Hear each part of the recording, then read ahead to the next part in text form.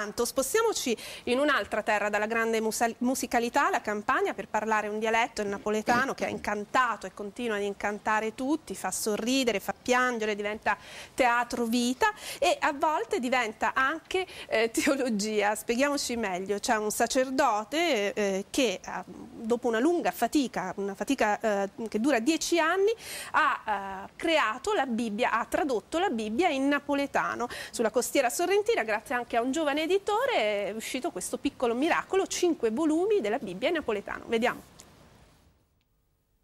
L'amore è chi ne pazienza e chi ne accortenza, perché chi va bene veramente non è mai geloso. Non tutti forse riconosceranno l'inno alla carità tratto dalla prima lettera di San Paolo ai Corinzi.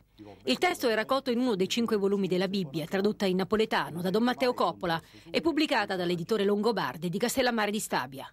Se io ho tradotto la Bibbia in, in, napoletano è perché c'è stata una grande attinenza tra la lingua ebraica e la lingua napoletana. La lingua napoletana non ha concetti astratti, come l'ebraico non ha concetti astratti, per cui eh, rende molto di più e ci sono delle espressioni napoletane che è difficile magari tradurre eh, nella lingua italiana. Una proposta eh, legata, così specifica, legata appunto a una traduzione in lingua napoletana di un, dei testi sacri, mi ha un po' spiazzato in un primo momento, però l'ho voluta cogliere proprio come, come, come sfida, perché ho capito che nel, da, diversi, da, un diverso punto di vista, però andava nella, nella direzione della, della, nostra vocazione, nel senso che rispetto a una globalizzazione complessiva in tutti i settori, anche in quello dell'arte e della cultura, eh, un'attenzione al territorio anche attraverso la riscoperta, la riappropriazione della lingua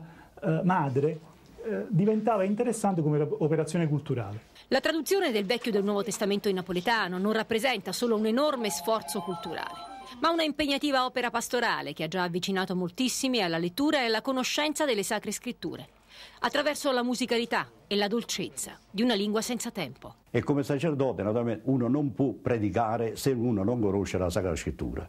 E la Bibbia quindi è il libro più bello e più grande che ci possa esistere, tanto è vero che ha detto Gianfranco Ravasi che è stato tradotto in 2450 lingue e non poteva mancare la lingua napoletana. Il grande San Tommaso d'Aquino, quindi nel 1573, nella chiesa di San Domenico a Napoli, spesso e volentieri parlava nella lingua napoletana.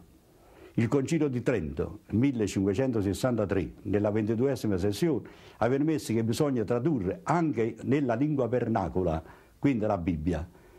Il Concilio Vaticano II praticamente ha detto che eh, cura con materna sollecitudine che si facciano delle traduzioni lingua, in ogni lingua quindi rispettando naturalmente la, mm, eh, diciamo, la sostanza. La lingua napoletana oggi è una lingua ancora estremamente viva, è, una, è un dialetto, quello napoletano, molto molto utilizzato nel, nel linguaggio comune e quindi il tentativo di, di, di canonizzarlo attraverso la traduzione di un, di un, libro così importante come può essere quello delle, delle Sacre Scritture eh, diventa ancora una volta un'occasione per poter riappropriarsi di una tradizione culturale del territorio. Una curiosità rende quasi giustizia, se mai fosse necessario, la traduzione della Bibbia.